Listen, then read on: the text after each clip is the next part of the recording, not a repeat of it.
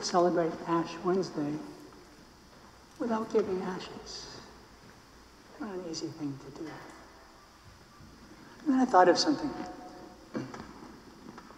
People uh, in the church in this Lenten season are getting ready to celebrate the Easter sacraments of baptism, confirmation, and Eucharist. People are getting ready to be welcomed into the church as new Christians. Part of their preparation involves a ritual where they come to church and their senses are signed with the cross. It's a very beautiful ritual. I thought, you know, maybe that's what we can do today. Maybe that's the closest we can come.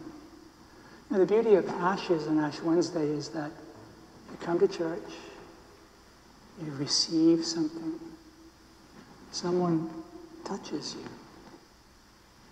Not only touches you, but rubs something gritty into your forehead. A blessing is etched on your face. You go home knowing that grace has touched you. So I'm hoping that we can have that experience virtually. In baptism, we are claimed by the power of Christ's cross. Now we remember Christ's claim on us as we begin our Lenten journey, a path that will lead us to Easter, when with joy we will renew the promises of our baptism. So, receive the sign of the cross on your forehead.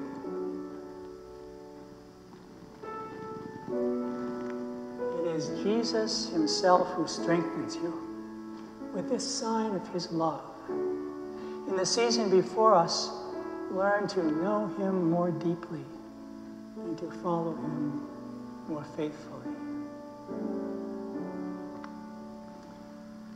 Receive the sign of the cross on your eyes.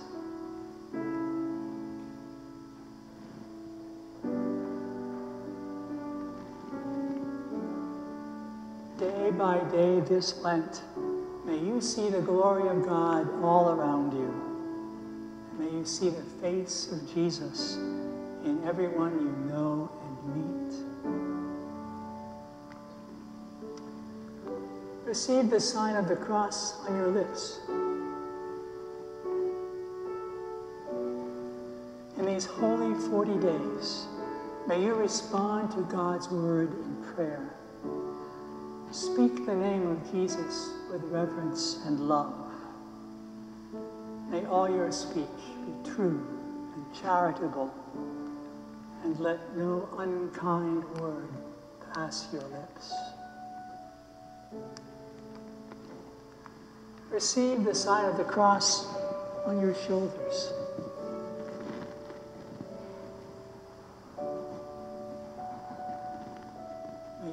Up the crosses in your life. And remember in the days ahead that Jesus helps you carry every cross that is yours.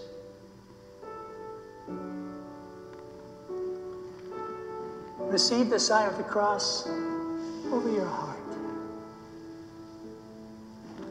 When you rise each Lenten morning and before you go to bed each night, invite Jesus to dwell ever more deeply in your heart.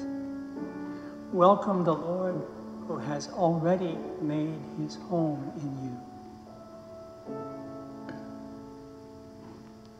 Receive the sign of the cross on your hands.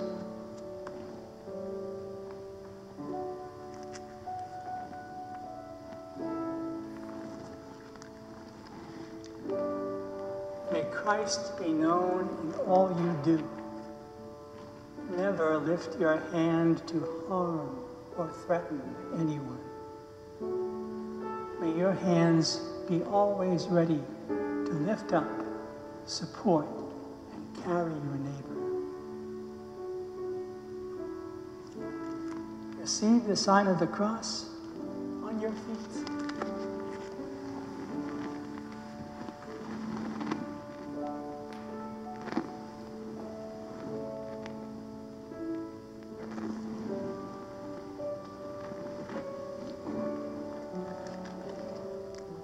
Walk always in the footsteps of Jesus.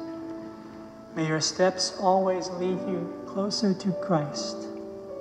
May you never stray from the path of his word.